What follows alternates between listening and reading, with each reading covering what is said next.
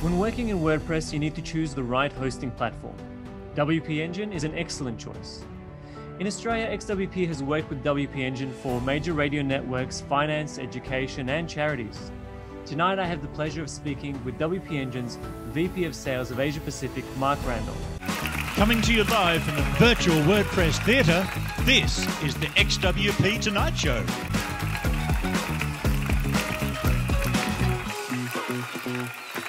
Great to be here, Amit. Thanks for having me and thanks for the kind words. For those that don't know, what exactly is a website host? Like, why does a site need a managed hosting provider? I guess at a basic level, uh, web host provides the infrastructure to power your websites.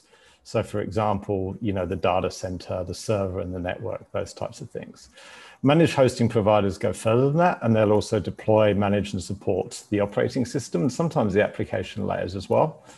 And you know, hosting providers offer different service levels for different needs. So, in the same way that when you want to eat a pizza, you can choose to dine out or order delivery, heat a pre-made pizza at home, or or buy the ingredients and make it from scratch. You have the same choices with hosting in terms of the type of service and the level of management that you require. So, one mistake I guess that people make frequently is assuming that a website is set and forget when it's very rarely that. Websites are in a constant state of change uh, due to so you know as a result of that constant management of security performance and availability is critical. Specifically on wordpress you know xwp and wp engine you know both of our companies clearly market to the world with a focus on wordpress. Um, in your opinion wouldn't it make more sense business sense i guess to host sites uh, built on all cms's why does wp engine choose this um, specific and, and narrow focus Another great question. And, you know, look, there are a lot of non-specialist generic hosting providers out there in the market who support hundreds of different applications on their platform. And, you know, that's fine for basic web host, but you can't really provide support, management or expertise at the application layer across hundreds of different apps, right? It's, it's just not possible that that amount of expertise uh, at the scale to support it 24 seven, you know, just is not, you know, viable for any organization. So, you know, by supporting lots of applications, you know, you limit the amount of support that you can provide on, on any of them. Um, you also reduce your product and R&D uh, investment focus, right? So, you know, in our case, we've been able to invest you know, hundreds of thousands of man hours in trying to build the best platform for WordPress. And if we were trying to build a platform for something else as well, or another five or 10 things, you know, that would have reduced the amount of expertise and focus that's gone into that. So, you know, it is, um, you know, a choice that we've made and it's a conscious choice that we've made. And, you know, we've chosen specialize and try and be the best at, at WordPress, which we believe we are. And, you know, we feel if we supported other applications, we would have to compromise on that. What I really like is that I find that XWP and WP Engine have a uh, clear alignment. You know, like we're aligned with our, our focus and our attention to the way that we approach our customers. And I really see it as a great partnership um, with the two organizations. Um, I know that like we meet fortnightly, we discuss our customers, our prospects, and we want to ensure that we're providing a great experience to them. Um, what importance do you place on the long-term business partnership, or you know, is the word partnership um, just an overused cliche term? Well, of course. I mean, we really value and appreciate our partnership with with XWP, and you know, some of the best projects we've worked on have been, you know, in partnership with with yourselves, with Nova Entertainment and Bartercard being two two great examples. I think more generally in terms of partnership, you know, the problem with them occurs when they're taken for granted. And, you know, unfortunately, that's human nature to an extent. It's why a lot of relationships uh, fail and don't work out. So, the way I see partnerships is that you have to continue to earn them all the time, you know, every day, every week, every month. And, you know, I believe that WP Engine's core values are, are very compatible with healthy partnerships uh, because we value things like, you know, doing the right thing. We value being customer inspired. Uh, we value being built for growth and we value being committed to give back.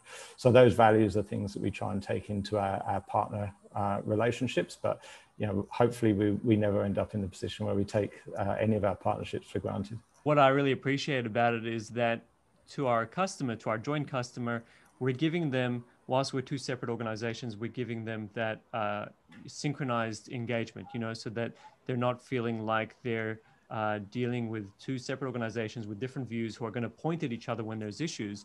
Um, you know, and you, you mentioned uh, Nova and and Bartercard, great customers that you know we've often discussed about different things that they're trying to achieve and how can we both support them? How can we both assist them in what they're trying to get to? With each one of these with each one of our, our example customer sites we're always uh, wanting them to feel like they're dealing with people who are working collaboratively together which i really appreciate yeah likewise likewise um, on the technology front, um, really, as technology changes and improves, sites will need to stay on top of their game to continue meeting user expectations in your view, what are the big changes that you see coming to the tech world, and in what ways are WP Engine looking to grapple with those changes?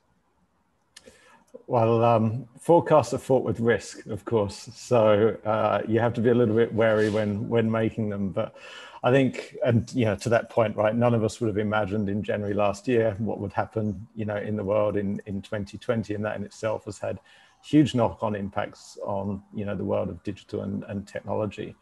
Um, but we do have some insights, fortunately. Uh, in fact, for the last three years, we've commissioned uh, independent research on future digital expectations. And we've carried this out in each of our core markets, being US, UK, and Australia. And what we're seeing is, you know, a few things, but, you know, in particular, the youngest generation, Gen Z, is, is really driving the digital agenda. And they have extremely high expectations of brands and for their digital experiences. And this is important because they're about to become the biggest generation of consumers um, as well as the biggest component of the workforce. Um, and as you would imagine, you know, this generation expects things like voice recognition, AI, and predictive personalization to play a key role in their future digital experiences. And they also expect content to be regularly updated and to be entertained. You know, every other generation apart from Gen Z sees the internet as being somewhere they go for information. Gen Z sees it as being somewhere they go to be entertained. Um, so you know there's a lot of challenges in solving for these expectations for you know marketers and technologists and they're going to have to work together in ways in which maybe they haven't worked you know as effectively together before to, to solve some of these. But overall you know we think these trends are positive for wordpress and we think they're positive for wp engine because you know wordpress is the most agile cms it's the easiest to use for content creators that are looking to create entertaining content and keep it regularly updated.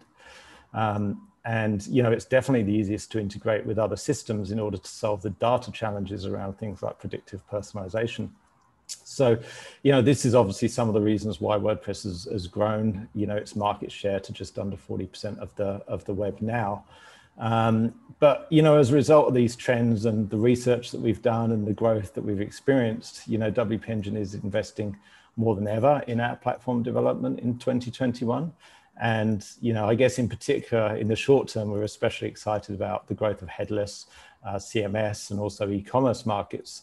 Uh, so we're going to be look to be solving for more of our customers' problems in those areas specifically. There's a lot in there and uh, a lot for us to think about.